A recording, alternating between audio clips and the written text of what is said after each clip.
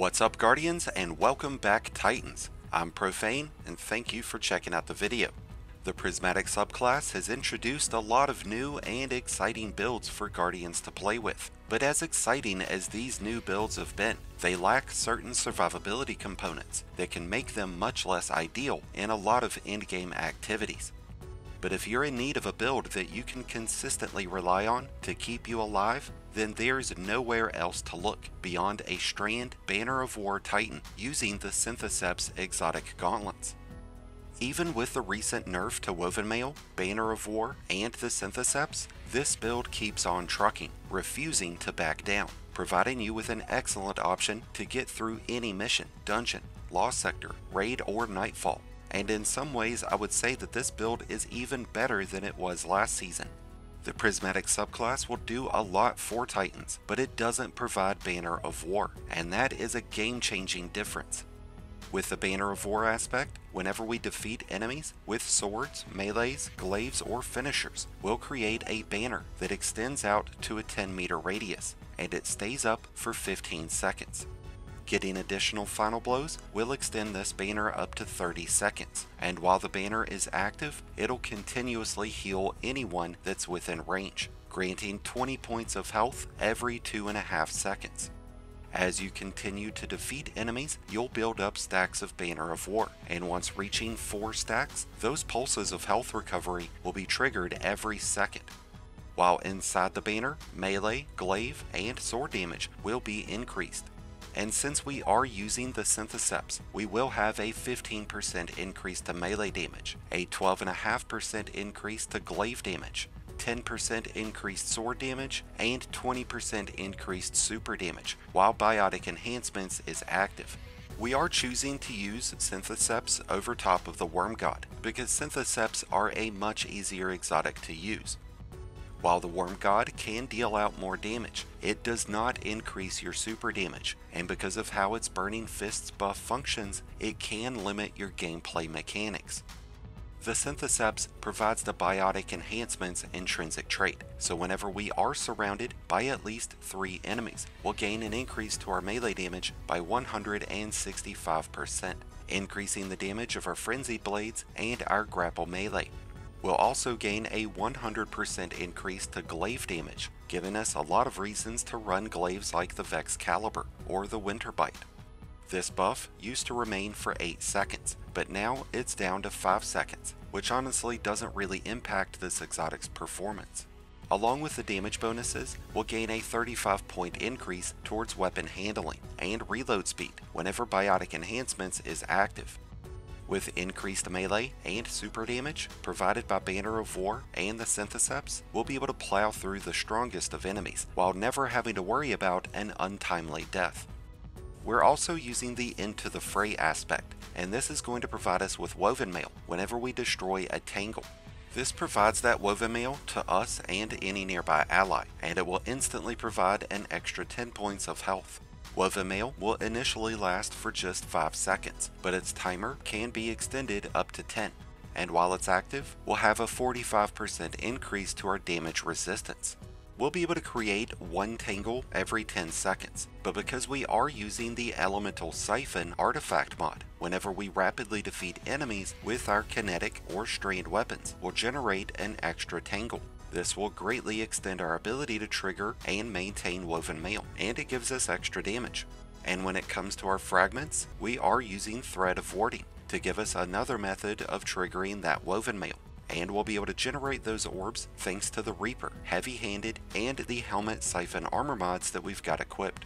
We've got Thread of Generation, so as we deal damage, we'll continuously generate small chunks of extra grenade energy, helping us recharge that powerful grapple melee.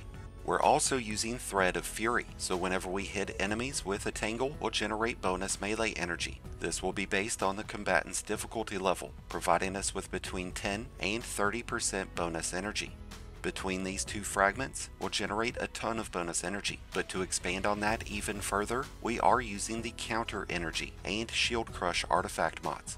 Counter Energy will provide 25% bonus energy to the least charged ability each and every time we stun a champion. and Shield Crush is going to give us a 25% bonus to the regeneration rate of our melee energy and a 25% increase to melee damage whenever we have Woven Mail active. So if you're keeping track, that's going to give us up to a 205% increase to the damage of our Frenzied Blades, our Grapple Melee, and our Light Super Attack. Plus we're going to have exceptional uptime of all of those abilities. Our fourth fragment is a bit of a toss-up. I really like Thread of Ascent because it automatically reloads our equipped weapon whenever we use our grapple but I also like the bonus damage potential when using Thread of Propagation, because our Strand weapons will start hitting enemies with unraveling rounds, dealing bonus damage over time. We do plan on equipping at least one, if not two, Strand weapons with this build. The most notable two are the Call Rocket Sidearm and the Swordbreaker Shotgun. The biggest benefit that we'll have when running a shotgun will be the addition of 1-2 punch, which will greatly increase our melee damage even more. After hitting enemies with the majority of the pellets from a single shot, we'll gain a 100% increase to the damage of our Frenzied Blades, and a 150% increase to our Grapple Melee, bumping our maximum damage potential with those melees up to the extent of 300 to 350% bonus damage, which is absolutely insane. We talked about a few of our equipped artifact mods already, but to add to the ones that you already know, we are using Winning Hand, but only when we are using Pale Heart weapons, like the Call. We're also using Threaded Blast, so whenever we destroy a Tangle with a Strand weapon, the detonation will be larger, hitting enemies for more damage.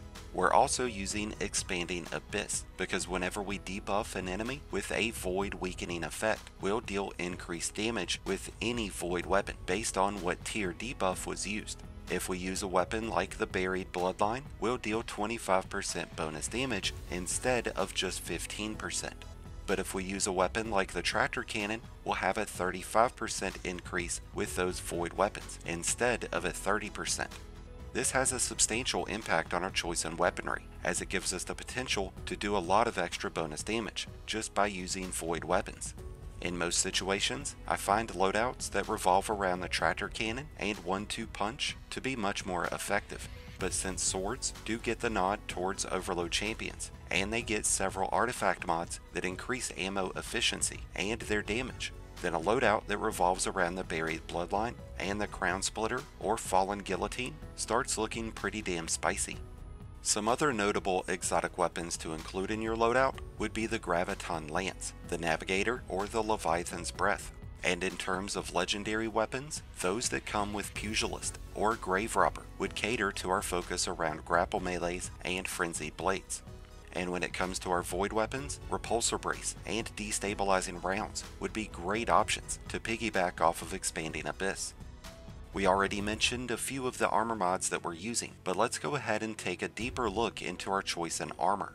The main character stats that we want to focus around will start with resilience, which will reduce our incoming damage. Beyond that, it will be discipline and strength, so that we'll have the shortest possible cooldown time on those grapples and melees and if we can afford it, investing a few points into recovery would be a smart idea. But if you can't afford it, there's always armor mods like Font of Restoration, which would give us bonus recovery whenever we have armor charges active.